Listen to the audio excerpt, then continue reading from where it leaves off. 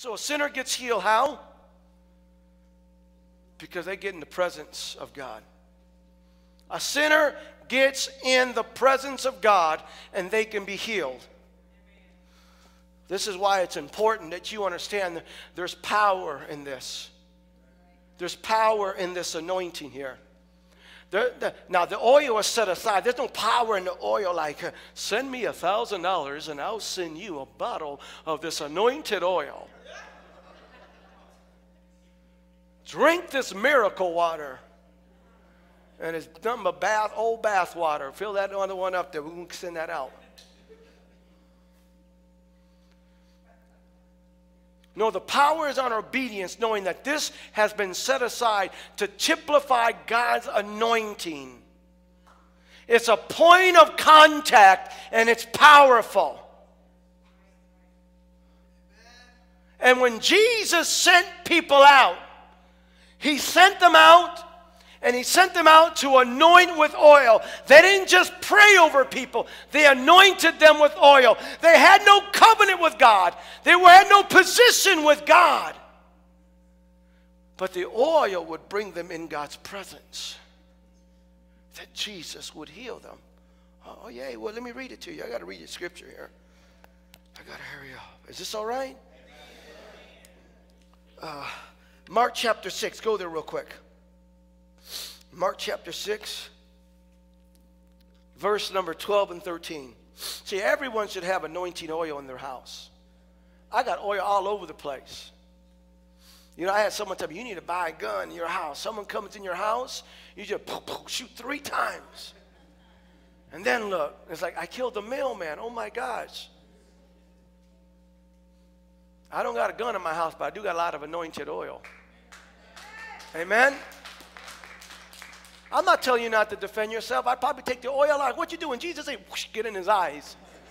ah, you blinded me. Jesus' name, Jesus' name, I smear you. Uh, you know, I could do like Brother Daniel. Brother Daniel has taken the oil, anointed all of his guns.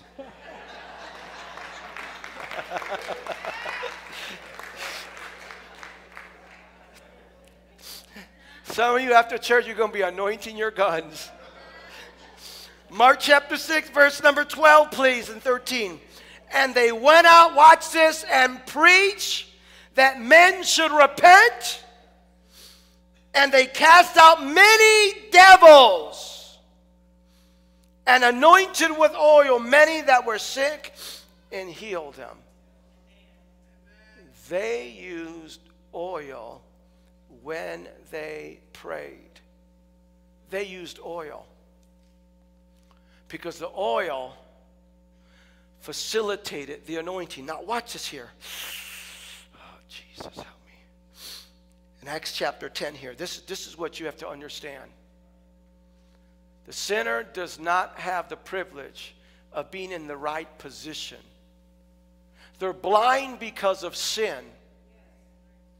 They're in control of the power of sin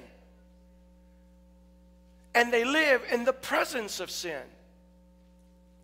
So it's an oxymoron. They're never going to be able to get in the right position. So God extends mercy and says, I'll let you experience my presence to get you to come into position. I'm going to say it again.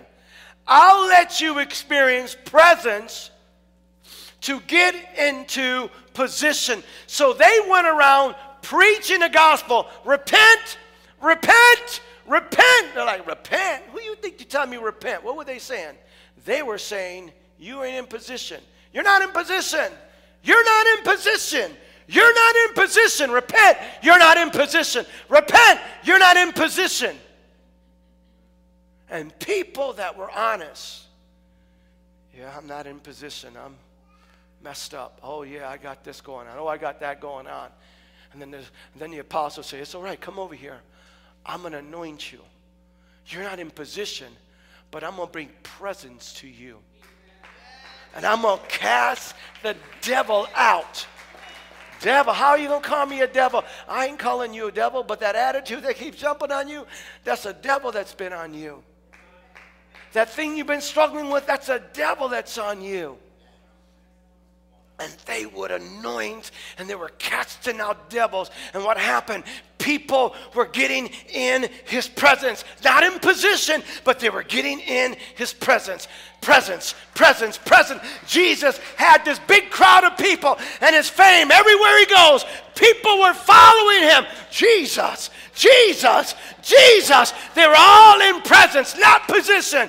It was not until the day of Pentecost where people were going to go up into an upper room and all of the people that were in presence, that day they were born again and they got into position. Woo! I'm going to buy my own tape.